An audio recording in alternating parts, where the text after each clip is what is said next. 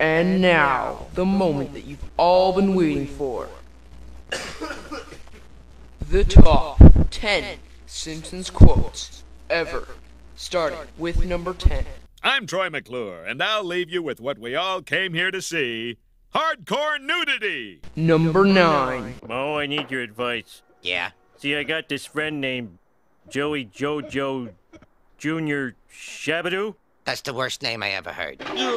Oh, no. Hi, Joey Jojo! Number 8. Yeah, If elected mayor, my first act will be to kill the whole lot of you and burn your turn to cinders. Mike's on.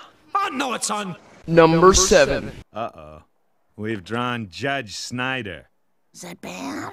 Well, he's had it in for me ever since I kinda ran over his dog. You did? Well, replace the word kinda with the word repeatedly and the word dog with son. Number 6. My dingling! My dingling! I want you to play with my dingling! Number 5. All right, here's the 411, folks. Say some gangster is dissing your fly girl. Number 4. The plant called and said if you don't come in tomorrow, don't bother coming in Monday. Woohoo! Four day weekend. Number 3.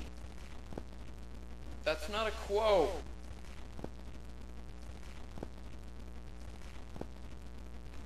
Right, of course. Number 2. But what if I were to purchase fast food and disguise it as my own cooking? Ho, ho, ho, ho, ho.